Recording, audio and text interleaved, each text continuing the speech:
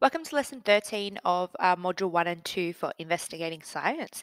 And in this lesson, uh, we're going to be looking at the inquiry question what inferences can be drawn from observations? And we're going to be focusing on Aboriginal and Torres Strait Islander people. So take a minute now to answer the do now. Would you eat this plant? Why or why not? So pause the video now until you've answered that question. Okay, so having a look at your answer, okay, I would recommend not eating this plant. So, this Moreton Bay chestnut or a black bean is actually poisonous. And Aboriginal and Torres Strait Islander people have used these observations and inferences for thousands of years. Okay, and this is one of the examples we'll look at today. So, we're going to be looking at the leaching of tox- toxins and how they um, make sure those are out of any of their bush tucker and how they would locate sources of fresh water within saltwater bodies.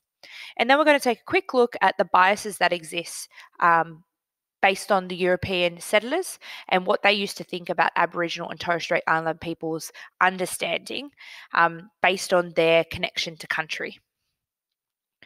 So uh, we're going to be looking at bush tucker. Um, we're going to be doing a rigorous reading, and we can see here in the success criteria, okay, um, that we are going to have a big focus on how we can demonstrate our Aboriginal and Torres Strait Islander capability here and being able to uh, respectfully discuss Aboriginal and Torres Strait Islander people.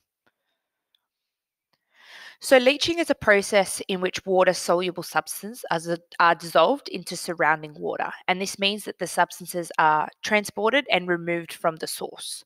So, Aboriginal people had to determine the correct technique to use to prepare different foods that they would find in their um, country. And then they'd be able to make appropriate inferences about whether it would be poisonous or whether it was safe to eat. And so take a minute now to read this paragraph here.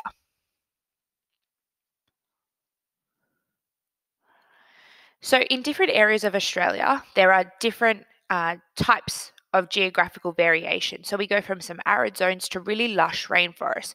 And there is such a diverse array of plant and animal species that uh, can be used for hunting, used for eating, and used for a, a range of different things. And Indigenous people of Australia travelled around on this country um, in their traditional homelands, sourcing foods that were seasonal. So they didn't appear all of the time.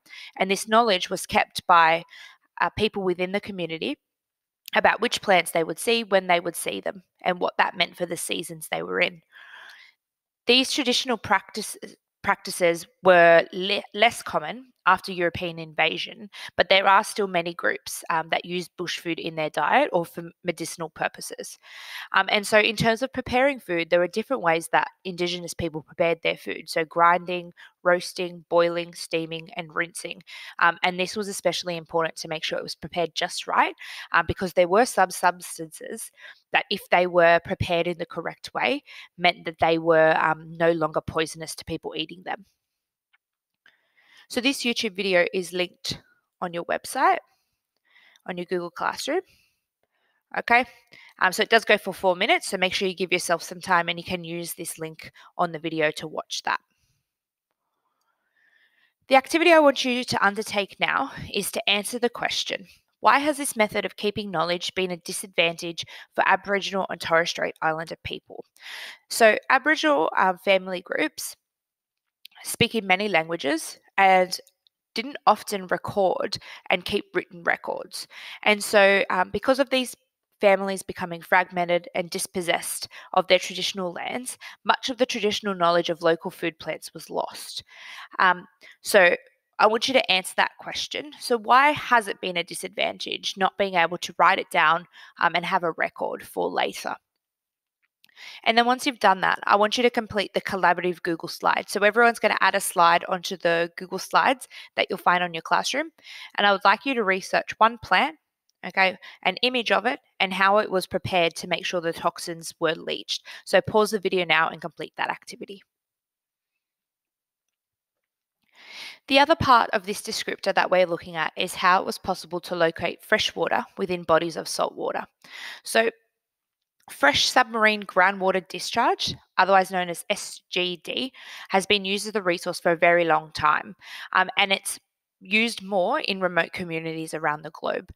Um, so, this is where terrestrial groundwater discharges into the sea, um, and it's controlled by aquifers that are underneath um, the ground, uh, usually like the water table. Okay, and this is discharging, so being put out into the sea, which we know is salt water. Um, we can use these SGDs for drinking, hygiene, agriculture, fishing, and for spiritual use. So, ex- a couple of examples in Australia. So, there's Elim Beach in Australia, um, which is also referred to as Biobindi, and it's an ocean in the local language of the Guugu Yimithirr people.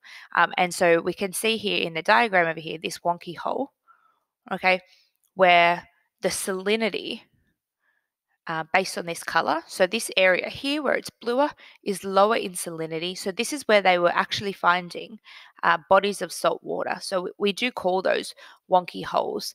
Um, and because they are fresh water, uh, they provide a different species of fish than they would in salt water.